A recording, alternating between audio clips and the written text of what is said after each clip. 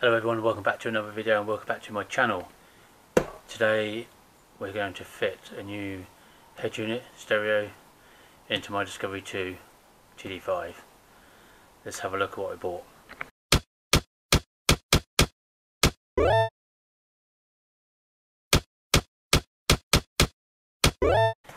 This is the box.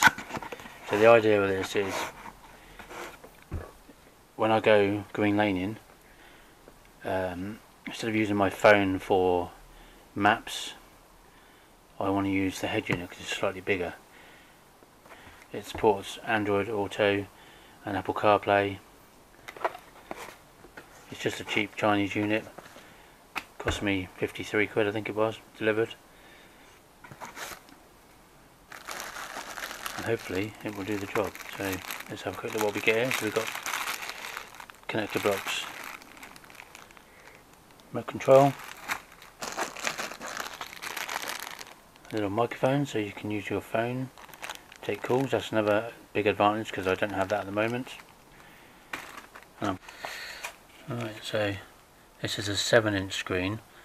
Now there were bigger ones available similar price or a little bit more and I cut them 10 20 quid more. However I'm kind of limited on the D on the D2 limited to you know how you can uh, fit this within the cable. And I didn't want it too big either because I've got a um, a pod above with all the switches and obviously I don't want that to be to be blanked out. So I can't get access to my switches. So so here it is. This is what it's like. Just have a look at the connectors on the back. So we've got um, outputs for the audio left and right for the amp. We've got two video outs, one and two, so if you want extra screens in the headrests or whatever.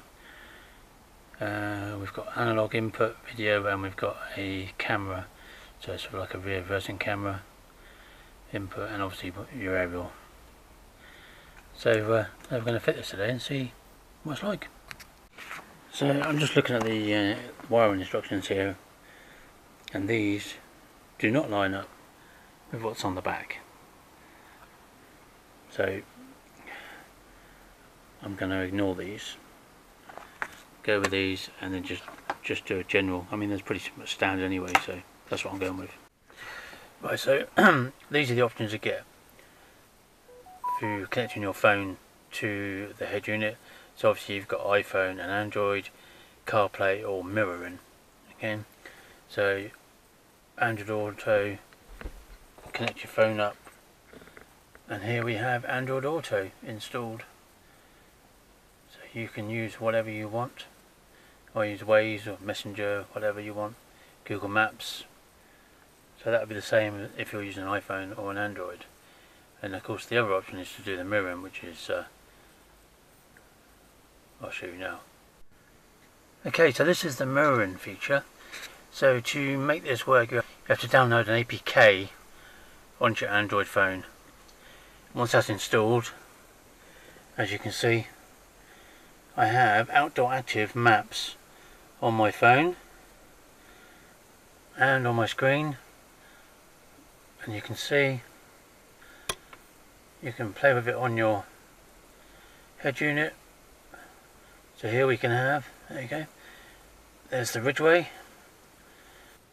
Phone link is also just changed it says puts USB here. There is one on the back as well I think.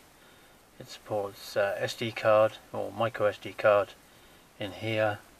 You've also got a microphone up there. And obviously it supports Bluetooth. Um, AV in so you can have a camera. I haven't got a camera at the moment. Uh, and aux in. Of music. And it's got a calculator you so wish to use. The setup obviously you can do all the different setups um, including the steering wheel. You can put logos in there display setting backgrounds screensavers etc time display settings so you can do all your equalizer as I said earlier. Um, the logo I'm guessing you can enter a, put a logo in there. Not found out how to do that yet and it's got a calendar so you can put in Um, in, yeah. It's pretty good. Sounds really good. It's quite loud. Obviously, you can't hear that because of copyright issues. Um, so the only thing I haven't found out to do yet is to, when you've got your phone connected, is to have the radio on at the same time. So still got to play with that. But for 52 quid, 52, 48, something like that, it's um pretty impressive. Anyway, hope you like the video.